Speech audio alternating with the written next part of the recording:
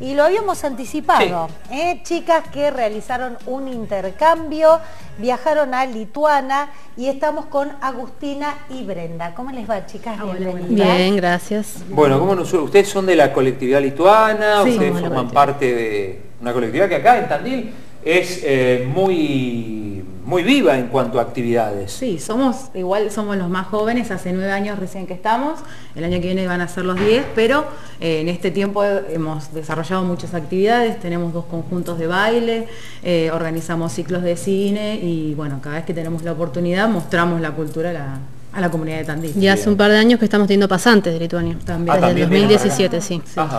Bueno, ¿y cómo surge esto del intercambio?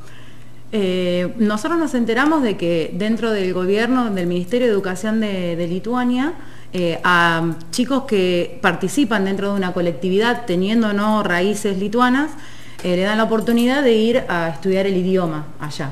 Y nos enteramos justamente en un campamento que se realiza todos los años, que es el Subayaimas, con, haciendo intercambio justamente con jóvenes de otras colectividades lituanas de acá de Argentina, eh, nos enteramos y bueno, nos propusimos llegar. Hace varios años que eh, las colectividades de Berizo, de Buenos Aires, hacen esos intercambios, pero es la primera vez que bueno, que Tandil participa.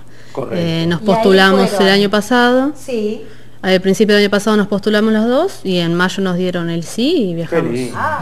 bueno, a ver Agustina, vos estuviste cuánto tiempo? Casi un año, diez meses. Volví la semana pasada.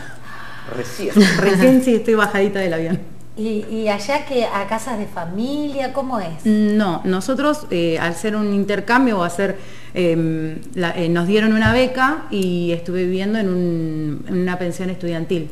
Este el intercambio, perdón que te interrumpa, fuimos a la Universidad de Vilnius, de la capital, nosotros elegimos la ciudad de Vilnius, la Universidad de Vilnius, pero eh, había otras universidades en las que podíamos participar. Así que estuvimos viviendo en pensiones de la universidad. ¿Qué idioma se habla allá?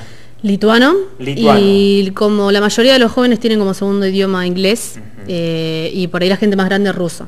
Así que si no hablas lituano es fácil de... la época. Sí. Exactamente. Exactamente. Eh, ¿Y ustedes qué hablaban? y sí, ¿Lituano también? Sí, en 2017 cuando vinieron las primeras dos pasantes tuvimos clases y así que más o menos para defendernos algo manejábamos. Eh, pero no, inglés lo más. ¿Qué hacían? Digo, vos estuviste seis meses, vos un año. ¿Qué, eh, actividades realizaban en Lituania? Y eh, el curso que hicimos nosotros era de todos los días, era un curso general de idioma, así que todos los días íbamos a la universidad. Y lituano. Lituano. Y después en los tiempos libres. Bueno, yo ya en el segundo cuatrimestre tenía, eh, si bien la cursada era más intensiva, pero también estuve participando dentro del Etnocentras de la ciudad de Vilnius en un, coro bastante autóctono donde se canta cosas bastante eh, tradicionales eh, lituanas, como, que es, como es el Sutartines, y después estuve participando en dos conjuntos folclóricos de allá, para aprender justamente más lo que es la tradición. Claro, ¿y qué, qué les llamó la atención? Porque digo, es otra cultura, si bien ustedes participan, pero ir al país, otra cultura, otras formas, otro clima, ¿qué, qué les llamó la atención del país? Y yo creo que la historia más que nada, nosotros nos damos cuenta porque somos medio jóvenes, pero tienen cosas, castillos y construcciones y museos y mucha historia. En cualquier lugar encontrás parques y monumentos y eh, sí, castillos de muchos años. y a mí en, en haber participado en estos conjuntos folclóricos, bueno, el hecho de ir tenemos una fiesta pagana, vamos al bosque, prendemos fuego, hacemos coronas, hacemos eh, cantos alrededor del agua. Eso me llamó muchísimo la atención también. O sea, compartir lo que es la tradición en, vivo. Eso fue muy lindo también. ¿Es gobierno democrático? ¿Cómo digo, investigaron todo eso? Sí, sí, el gobierno es, democrático a partir del 91, que es cuando se, se independizan exactamente de la Unión Soviética y de hecho este último tiempo fueron las elecciones allá, donde hubo balotage, donde ganó un, Em, un presidente de una línea bastante conservadora, eh, por eso hubo balotaje, hubo también un poco de política y de propaganda y, bueno, ver cómo elegía la gente, las elecciones son diferentes. ¿Cómo, es? Eh, eh, se tienen que registrar en ellos, las elecciones no son obligatorias, entonces se tienen que registrar y va a votar el que quiere Eh, y, bueno, va la gente? Sí, sí, hubo una gran aceptación y también están tratando lo que es el tema del referéndum porque en Lituania no se admite la doble ciudadanía, entonces lo que mm, el referéndum plantea justamente de que un ciudadano lituano pueda tener la ciudadanía sin perder la lituana, entonces eh, se tiene que llegar a cierta cantidad de votos ese referéndum y también se estuvo discutiendo eso. Pero bueno, no llegó, no llegó a un buen consenso eso todavía. ¿Y se enamoraron? Yo, yo dejé mi novio acá, así que no, no. No. nada, nada nuevo, pero. Nada nuevo, bien, bien. Porque digo, no sé, uno cuando va a otro lado, viste que preguntas la política, eh, las costumbres, todo, y después los chicos, los jóvenes, las chicas.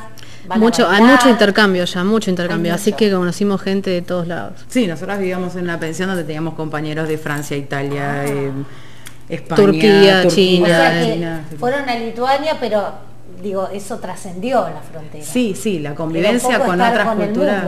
Sí, Bueno, chicas, la verdad que felicitaciones. Eh, seguramente cuando uno hace estos intercambios la cabeza viene cambiada y eso, bueno, esa cabeza abierta ayuda para seguir adelante.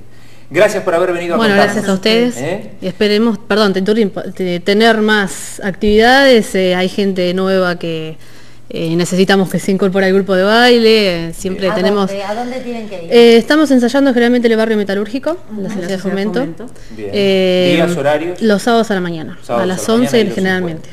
nos pueden encontrar también en Facebook y en Instagram como Likes Valietu Batandil. Pará, eso decirlo despacito, porque ustedes lituanos vienen de hablar lituano y nosotros y nos lo sigan así. ¿Cómo es despacito? pintados. Laisva Lietuva, Tandil. Laisva. Lietuva. Lietuva. Tandil. Tandil. Perfecto.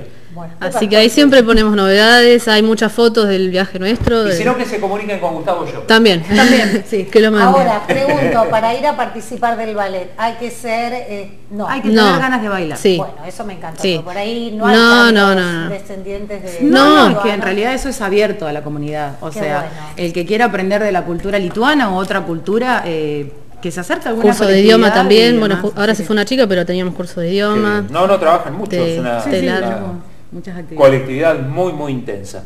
Gracias chicas. Bueno gracias a ustedes